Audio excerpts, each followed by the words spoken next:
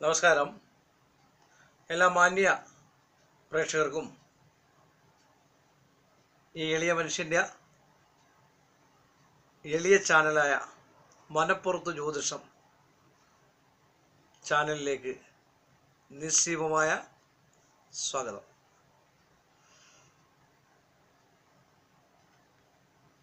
ഒരാൾ ഇന്ന് എന്റെ അടുക്കൽ ജ്യോതിഷം നോക്കാൻ വന്നപ്പോൾ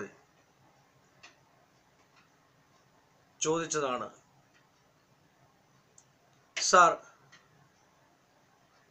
പ്രധാന കവാടത്തിൽ നമ്മുടെയൊക്കെ വീടിന്റെ മുമ്പിൽ ചെരുപ്പുകൾ ഇടുന്നത് നല്ലതാണോ? പാതുകം ചെരുപ്പ് അല്ലേ? ആ ചെരുപ്പ് ഇടുന്നത് നല്ലതാണോ? നിങ്ങൾ തന്നെ ഒന്ന് ആലോചിച്ചു. സന്ധ്യ കഴിയുമ്പോൾ ചിലപ്പോൾ നമ്മളെടുത്ത് അകത്തിടും പട്ടി കൊണ്ടുപോകുന്നു പറഞ്ഞു അല്ലെങ്കിൽ എലി കടിച്ചു പറിച്ചുകൊണ്ട് പോകുന്നു പറഞ്ഞിട്ട്. അതൊന്നും അല്ല. നമ്മളെല്ലാ അശുദ്ധികളിലും ഒരു മരണവീട്ടിൽ പോയാലും ഒരു ഹോസ്പിറ്റലിൽ പോയാലും ഒരു ചന്തയിൽ പോയാലും ഒരു ഇറച്ചി വെട്ടുകടയിൽ പോയാലും ഒക്കെ നമ്മൾ ചിരിപ്പിട്ടുകൊണ്ടാണ് നടക്കുക. നിങ്ങൾ പഴയ കാലത്ത് കണ്ടിട്ടില്ലേ? നമ്മുടെ വീടിന്റെ ഉമ്മറത്ത് കിണ്ടിയിൽ വെള്ളം വെച്ചിരിക്കുക. എന്തിനാ? മറ്റുള്ളവരുടെ ഭൂമിയിലോ മറ്റുള്ളവരുടേതായിട്ടുള്ള മണ്ണോ അതിന്റേതായിട്ടുള്ള ശകലങ്ങളോ നമ്മുടെ വീടിനകത്ത് കയറാൻ പാടില്ല. അത് അത്യന്തം ദോഷമാണ്. നമ്മൾ ക്ഷേത്രത്തിൽ പോയാൽ നേരെ വീട്ടിൽ വരണമെന്ന് പറയുന്നതിന്റെ കാര്യം എന്താ?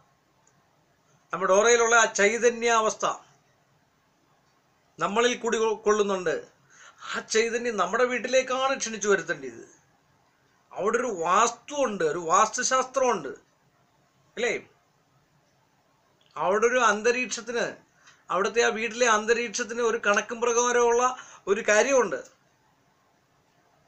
അതിനെ സ്വാത്യതമാക്കാനും അതിനെ മുൻപോട്ട് കൊണ്ടുപോകാനും വേണ്ടിയാണ് അവശിഷ്ടങ്ങളുള്ള ഒരു സാധനങ്ങൾ നമ്മുടെ വീട്ടിലേക്ക് കയറ്റാൻ പാടില്ല എന്ന് പറയുന്നത്.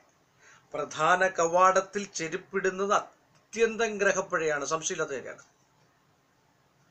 അതിനാണ് ഇന്നത്തെ കാലത്തൊക്കെ ആൾക്കാർ ഈ ചെരുപ്പിന് വേണ്ടി ഒരു തട്ടമൊക്കെ വെച്ചിട്ട് ഇങ്ങനെ വെച്ചിരിക്കുന്ന കാണാം. അത് ഏറ്റവും നല്ലൊരു കാര്യമാണ്. തട്ടം വെച്ചിട്ട് പിന്നെ ചെരുപ്പ് ഇട്ടുകൊണ്ട് വരുമ്പോൾ അതിൽ മാറ്റിയിടുക.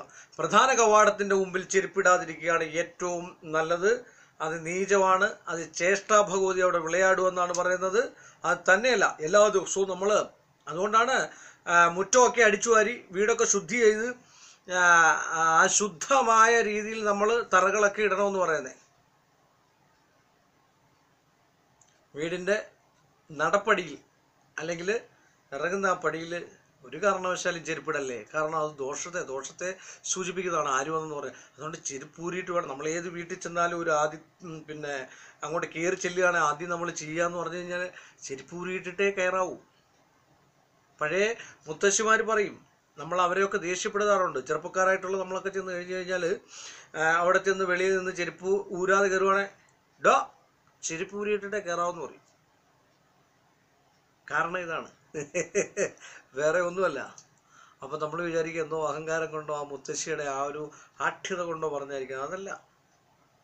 ചെറിയ ചെറിയ കാര്യങ്ങളൊക്കെ വലിയ വലിയ കാര്യങ്ങളാക്കി മനസ്സിൽ സൂക്ഷിക്കുന്ന ഒരുപാട് ആൾക്കാരുണ്ട്. നമ്മുടെ പൈതൃകങ്ങളൊക്കെ സൂക്ഷിച്ച് ഇപ്പോഴും പോകുന്ന ആൾക്കാരുണ്ട്. അതൊക്കെ നമ്മൾ തന്നെയാണ് കളയുന്നത്. അല്ല പഴയ പൈതൃകങ്ങളൊക്കെ ഇപ്പോൾ പുതിച്ച് പുതിയതായിട്ട് പുതിയതായിട്ട് തിരിച്ചു വരുന്നുണ്ട്. പഴയ നസീറും സത്യനും ഒക്കെ ഇട്ട പാന്റുകളൊക്കെ ഇപ്പോൾ കോളേജ് പിള്ളേരൊക്കെ ഇട്ടുകൊണ്ട് പോകുന്നതാണ്. നല്ല രസമാണ് കാണാൻ പഴയ പഴയ സ്റ്റൈലിലുള്ള തലമുടിയൊക്കെ ഉണ്ടല്ലേ? തലമുടി പഴയ സ്റ്റൈലിലൊക്കെ ചെയ്തിട്ടുണ്ടൊക്കെ പോകുന്നതാണ് അതുകൊണ്ട് ചെരുപ്പ് ഒരു കാരണവശാലും നമ്മൾ വെളിയിലിടാൻ പാടില്ല. അത് അശുദ്ധിയാണ്. അതൊരു നീചാവസ്ഥയാണ്. അതിനൊരു പ്രത്യേക ഭാഗം നീക്കി ഇട്ടതിന് ശേഷം മാത്രമേ നമ്മുടെ ഉള്ളിൽ കിടക്കാവൂ. അതുകൊണ്ടാണ് നമ്മൾ ഉപ്പ് വെള്ളത്തിൽ തറയൊക്കെ തുടച്ച് വൃത്തിയാക്കി കഴിഞ്ഞ് കഴിഞ്ഞാൽ അവിടെ മഹാലക്ഷ്മി വാഴും. ലക്ഷ്മി ദേവിയുടെ പ്രസരിപ്പുണ്ടാവും. നമുക്ക് ഐശ്വര്യമാണ് സമാധാനമാണ് നമ്മുടെ വീട്ടിൽ വേണ്ടി. ഐശ്വര്യം എന്ന് പറഞ്ഞു കഴിഞ്ഞാൽ ഒരുപാട് കോടിക്കണക്കിന് കാശോ സാമ്പത്തികോ ധനമോ ഒന്നുമല്ല. ആണോ?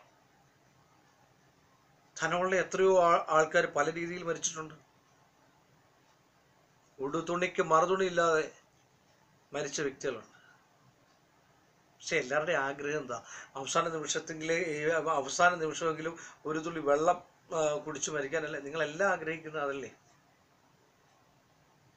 ആകണം.